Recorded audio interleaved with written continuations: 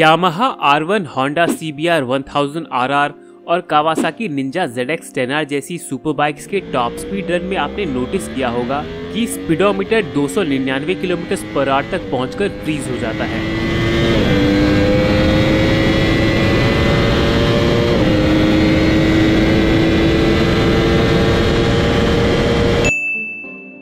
पर इसका मतलब ये नहीं कि इन सुपर बाइक्स के इंजन में 299 किलोमीटर पर आवर से ऊपर जाने की कैपेसिटी नहीं है। असल में इसके पीछे है 1990s में मोटरसाइकिल मैन्युफैक्चरर्स के बीच हुई स्पीड वॉर और उसके बाद हुआ एक इनफॉर्मल एग्रीमेंट यानी कि gentleman's agreement of motorcycle manufacturers hello riders यह द ड्रूटेड शो और इस वीडियो में हम बात करने वाले हैं 1980s के बाद सुपर स्पोर्ट बाइक्स की शुरुआत, इनकी डेवलपमेंट, इनकी स्पीड और इस स्पीड से जुड़े खतरों के बारे में, जिसकी वजह से कई कंट्रीज़ में सुजुकी हायाबूसा को बैन कर दिया गया था। पास्ट में हुए ये इवेंट्स और जेंटलमैन्स एग्रीमेंट किस तरह आज के मॉडर्न सुपर स्पोर्ट बाइक्स की स्पीड को रेगुलेट करते हैं और आज कौन कौन सी बाइक्स हैं जो इस एग्रीमेंट को फॉलो नहीं करती हैं, ये भी हम जानेंगे। So let's begin. 1980s के एंड तक मोटरसाइकिल इंजन काफ़ी ज़्यादा डेवलप हो चुके थे। Suzuki G S X R eleven hundred Honda C B R one thousand F और Yamaha F G R one thousand except जैसी स्पोर्ट बाइक्स लगभग 150 bhp की मैक्सिमम पावर के साथ मोर देन 250 किलोमीटर पर आवर की टॉप स्पीड टच कर रही थी। ऐसे में एक्सट्रीम लेवल पर जाते हुए कावासाकी ने 1990 में डबल जेड आर इलेवन को लॉन्च किया, जिसे निंजा जेड एक्स इलेवन भी कहा जाता है। एक हज़ार बावन CC inline four cylinder engine के साथ ये बाइक 145 एचपी की मैक्सिमम पावर प्रोड्यूस करती थी और इसकी टॉप स्पीड थी दो सौ तिरासी किलोमीटर पर आवर अपनी सुपरफास्ट परफॉर्मेंस की वजह से ये बाइक अमेरिका और यूरोपियन कंट्रीज़ में काफ़ी पॉपुलर हुई और इसकी वजह से लोगों में पावरफुल हाई स्पीड बाइक्स के लिए फैसिनेशन और भी बढ़ गई। मोटरसाइकिल वर्ल्ड में अपनी सुप्रीमेसी प्रूव करने के लिए उन्नीस सौ छियानवे में होंडा ने सी बी आर ब्लैकबर्ड को लॉन्च किया। Lockheed S R seventy one Blackbird jet के नाम वाली ये सुपर बाइक अपने एक CC inline four cylinder engine की हेल्प से दो सौ सतासी किलोमीटर पर आवर की टॉप स्पीड अचीव कर सकती थी, जो उस समय पूरी दुनिया में सबसे ज़्यादा थी।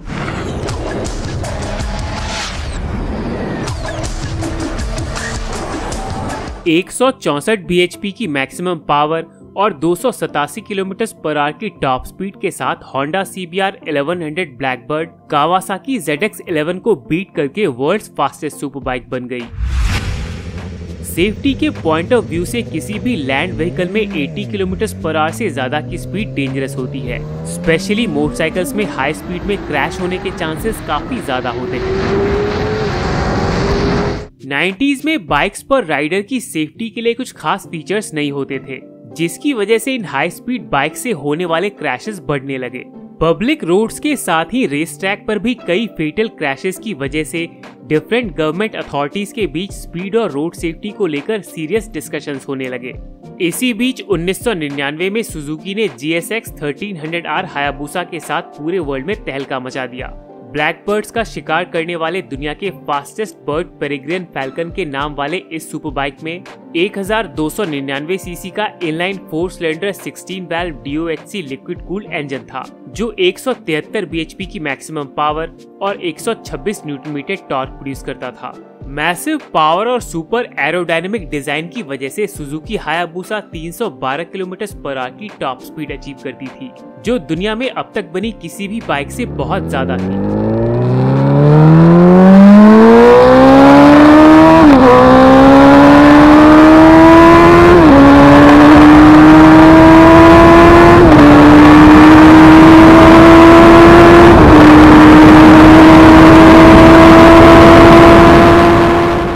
इस एक्स्ट्रा ऑर्डिनरी टेक्निकल अचीवमेंट की वजह से पूरे ऑटो वर्ल्ड में सुजुकी हायाबुसा का खूब नाम हुआ और पूरी दुनिया में ये बाइक मोटरसाइकिल फैंस की ड्रीम बाइक बन गई।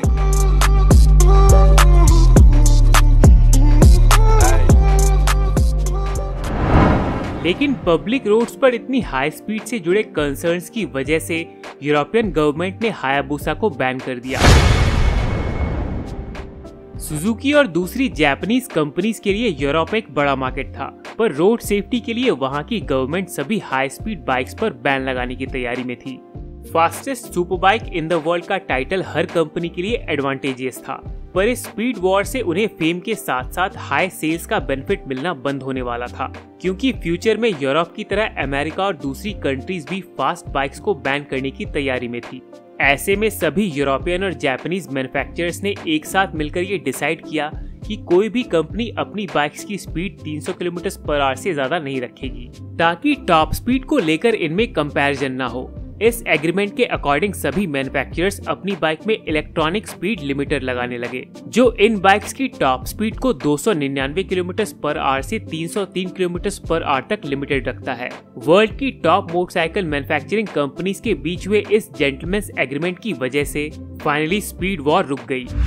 2001 से सुजुकी ने भी इस जेंटलमैन एग्रीमेंट को फॉलो करते हुए हायाबुसा की टॉप स्पीड को इलेक्ट्रॉनिकली लिमिट करके 299 किलोमीटर पर आवर कर दिया, जिसके बाद यूरोप ने हायाबूसा पर लगाए बैन को भी रिमूव कर लिया।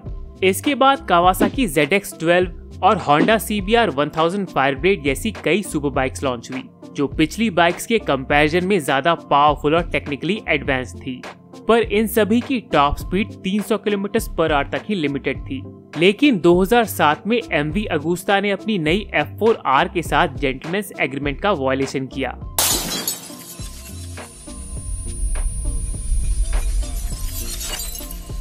नौ सौ अंठानवे सीसी फोर सिलेंडर इंजन के साथ ये बाइक एक सौ तिरासी की मैक्सिमम पावर प्रोड्यूस करती थी। और एक किलोग्राम लाइट वेट बॉडी की वजह से इसकी टॉप स्पीड 310 किलोमीटर पर आवर थी। इसके बाद BMW ने 2009 में S1000RR के साथ जेंटलमैन एग्रीमेंट का वायलेशन किया। 999 CC inline four cylinder engine के साथ इस बाइक की टॉप स्पीड 303 किलोमीटर पर आवर थी, जो जेंटलमैन एग्रीमेंट में सेट की गई लिमिट के आसपास थी, लेकिन BMW ने इसे इलेक्ट्रॉनिकली लिमिट नहीं किया था। इसके बाद 2012 में दुकैटी ने भी पैनिगैले आर के साथ जेंटलमैन एग्रीमेंट का वायलेशन किया। एक हज़ार सीसी एल ट्विन इंजन के साथ एक सौ बीएचपी की मैक्सिमम पावर प्रोड्यूस करने वाली ये बाइक 325 किलोमीटर पर आवर की टॉप स्पीड तक जाती थी, जो जेंटलमैन एग्रीमेंट की लिमिट से काफ़ी ज़्यादा थी। दुकैटी बी और एम अगुस्ता ये सभी यूरोपियन कंपनीज़ हैं। और शायद इसीलिए इन्होंने मोटरसाइकिल कंपनीज़ के बीच हुए जेंटलमैन एग्रीमेंट को फॉलो ना करते हुए अपनी बाइक्स की टॉप स्पीड 300 किलोमीटर पर आवर से ज़्यादा रखी। ऐसे में होंडा यामाहा और सुजुकी जैसी जापानीज कंपनीज़ की तरफ़ से एक स्ट्रॉन्ग रिप्लाई आना ऑब्वियस था। पर ऐसा हुआ नहीं। होंडा सुजुकी और यामाहा ने पूरी ऑनेस्टी के साथ जेंटलमैन एग्रीमेंट को जारी रखा। लेकिन 2015 में जापानीज कंपनी कावासाकी ने यूरोपियन कंपनीज़ को एक ज़बरदस्त शॉक देते हुए निंजा एच को लॉन्च किया। नौ CC inline four cylinder supercharge engine के साथ ये बाइक मोर देन 245 माइल्स पर आवर यानी कि ऑलमोस्ट 400 किलोमीटर पर आवर की टॉप स्पीड अचीव कर सकती थी। टर्की के ओस्मान गाजी ब्रिज पर कावासाकी ने रेडबुल के साथ मिलकर निंजा एच का स्पीड टेस्ट भी किया। जिसमें इस बाइक ने 400 किलोमीटर पर आवर की टॉप स्पीड अचीव करके पूरे मोटो वर्ल्ड को शॉक कर दिया निंजा एच की 400 किलोमीटर पर आवर की टॉप स्पीड के साथ कावासाकी ने जेंटलमैन एग्रीमेंट वॉयलेट करने वाली यूरोपियन कंपनीज़ को ऐसा सबक सिखाया है जिसे वो आज तक भूल नहीं पाए हैं What you want? You nak gaduh dengan saya? Anytime. Tanya saja. Kita Alah, 400 kilometre पर आवर की टॉप स्पीड अचीव करने वाली हाइपर बाइक बनाकर भी कावासाकी ने जेंटलमैन एग्रीमेंट का वॉयलेशन नहीं किया, क्योंकि ninja H two R street bike नहीं है। ये सिर्फ़ प्राइवेट रोड्स या रेसिंग ट्रैक पर चलाने के लिए बनाई गई है। इसके road legal version ninja H2 में स्पीड लिमिटर लगाकर कावासाकी ने जेंटलमैन एग्रीमेंट जारी रखा है। आज के टाइम में निंजा H2 दुनिया की fastest accelerating street legal super bike है। कई राइडर्स इसमें लगे स्पीड लिमिटर को रिमूव करके 300 किलोमीटर पर आवर से ज़्यादा की स्पीड अचीव करते हैं। लेकिन रोड्स पर सभी की सेफ्टी के लिए सुपर बाइक्स की टॉप स्पीड को लिमिट रखना बहुत ज़रूरी है, क्योंकि इतनी हाई स्पीड में एक छोटी सी गलती भी काफ़ी खतरनाक हो सकती है। यूरोपियन और जापानीज कंपनीज़ के स्पीड वॉर की ये वीडियो आपको कैसी लगी कमेंट बॉक्स में ज़रूर शेयर करें। बाइक्स और कार से जुड़ी और भी अमेजिंग वीडियोस के लिए सब्सक्राइब करें। Ride safe to ride again see you next one Yo, yo, microphone check, make it a microphone check, give it a microphone, I make the make it a microphone dead.